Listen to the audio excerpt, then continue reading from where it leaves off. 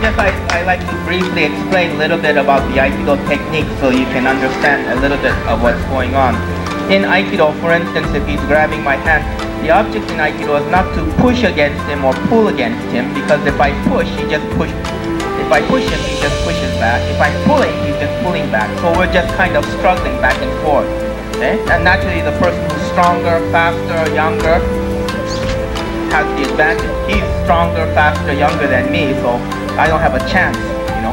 And while I'm struggling here, I don't know what his free hand is doing or kick is coming, his friend coming, one person, two people, three people, we don't know. So I really can't stay here to struggle. In Aikido, the object is not to struggle or try to overcome his force. The idea is to agree with his force. So if it's coming towards me like this, I don't want it to come into me because that's just going to throw me off balance. So if there's a way to direct the force someplace else, that's to my advantage. Goes down. The object is not to try to make a strong force resisting him, but to lead his force very gently where he's off balance. Then he goes that way. If I take his hand just, there's one point where he still has his balance. You don't have to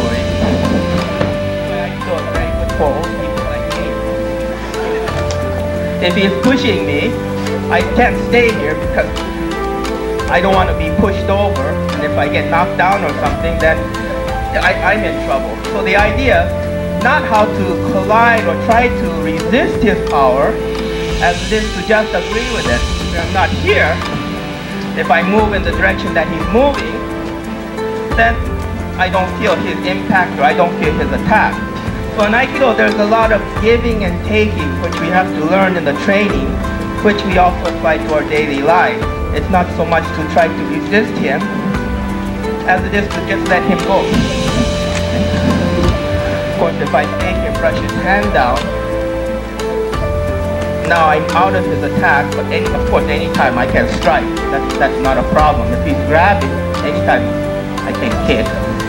But it's not nice to kick. For instance, if he's choking, don't, don't. He can choke, I still have to talk. So if he's choking like this, if I struggle, just a couple seconds, I'm someplace else, I'm not here anymore. The object is not how to struggle against it, as to find some way to, to blend with his power. And just naturally comes up. If I struggle to try to bring it up, it's hard. If I bring the hand to myself, very easy, very easy. But if I try to move his hand, now it's a big problem. But it's very easy to move my hand. And if I move my hand, he goes with it. Then it's just like taking off a sweater.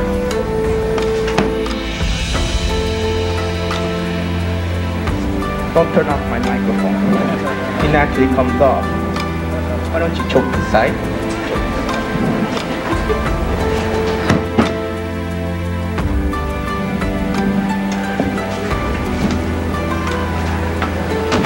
So the objective in Aikido is not how to fight.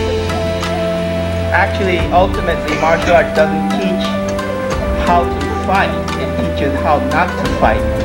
And that's what we misunderstand in martial arts today. So in a world of fighting, we create more fighting. That's not real martial arts. That just is a road to destruction. Aikido is to create a path of non-fighting to eliminate fighting. So ultimately in Aikido, shouldn't be any more Aikido either.